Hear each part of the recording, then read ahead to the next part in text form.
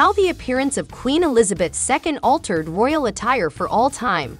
Queen Elizabeth II was renowned for her 70 years of steadfast devotion to the Commonwealth and the United Kingdom, but her regal sense of elegance will also live on in memory.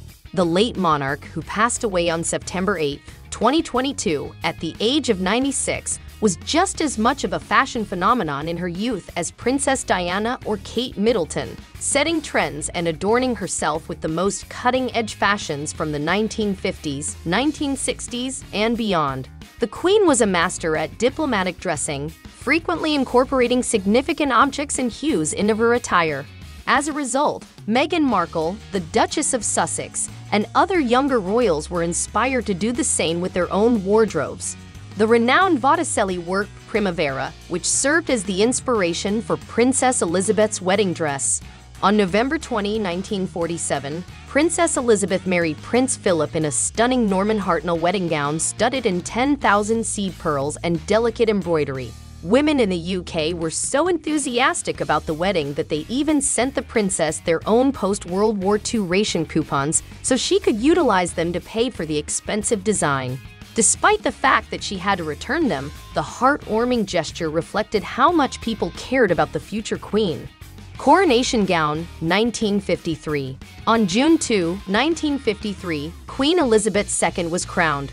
Queen Elizabeth II made sure that her coronation robes accurately represented her new position not just in the UK but also across the Commonwealth.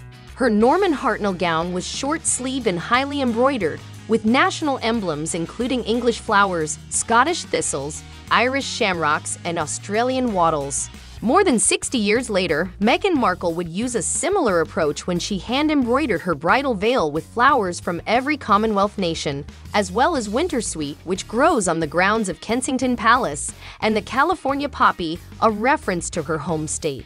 Lawrence of Arabia Premier Look, 1962 her Majesty attended the 1962 Lawrence of Arabia premiere wearing the gown her granddaughter Princess Beatrice would later alter to become a wedding dress. At the dazzling Lawrence of Arabia premiere in 1962, the Queen chose yet another Norman Hartnell creation, and the sleeveless white taffeta gown with diamante embellishments would eventually find fresh life at a royal wedding.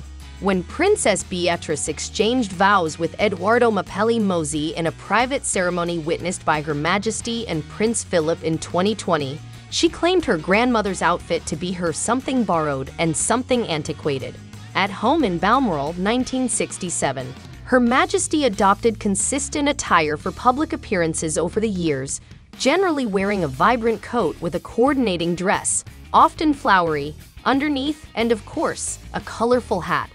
But even when she wasn't working, she maintained a uniform, dressing in Scottish tartans and English tweeds, cardigans. Her favorite brand was House of Bruar, Hunter Wellies, patterned headscarves, and Barbour jackets. The late monarch loved a good kilt, and she occasionally wore the unique Balmoral tartan that her great-great-grandfather, Prince Albert, designed. Visiting Ireland 2011 When Her Majesty visited Ireland in 2011, the first British queen to do so in a century, diplomatic attire took on even more significance. In 1911, her grandfather, King George V, visited there. The Queen's clothing, which included a green coat by Stuart Parvin, a flowery dress that matched it, and a hat by Rachel Trevor Morgan, delivered a message of togetherness to the audience. She then stunned them with a speech that began with her speaking in Irish.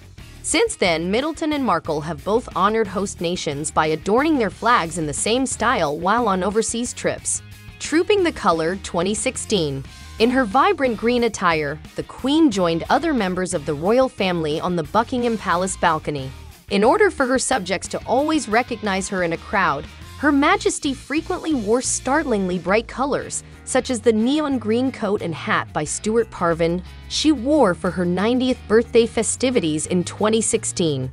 The hashtag Neonat90 hashtag and the lime suit both quickly gained popularity on social media, with many users creating green screen memes.